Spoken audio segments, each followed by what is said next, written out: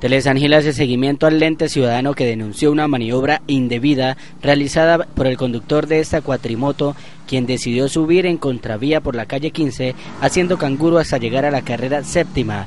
El video fue conocido por la Policía de Tránsito en Santander. Allí el comandante anunció que ya tienen identificado al joven que cometió esa infracción. Se trata de un menor de edad quien recibirá dos comparendos. Con base en el video que fue suministrado por parte de la ciudadanía, fue identificada esta persona. En el transcurso de la semana se va a hacer notificación de la imposición de dos comparendos, uno por realizar maniobras peligrosas y el otro por eh, transitar en contravía.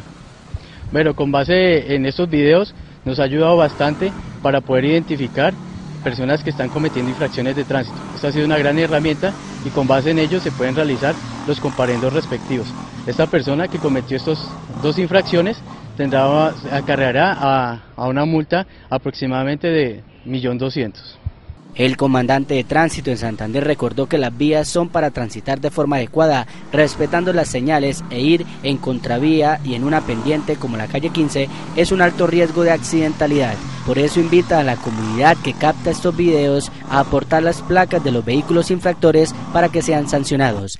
De otro lado, el lente ciudadano envió otro video que captó a otro infractor. Las imágenes fueron tomadas en la avenida Ragonesi, en donde se evidencia el descaro de algunos motociclistas.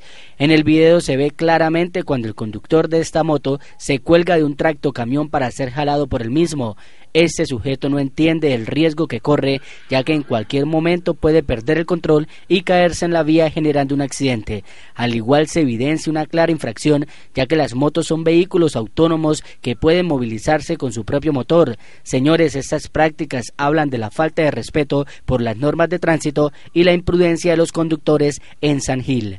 Agradecemos a la comunidad que continúa enviando sus videos y fotografías a la sección del lente ciudadano de Telesan Gil.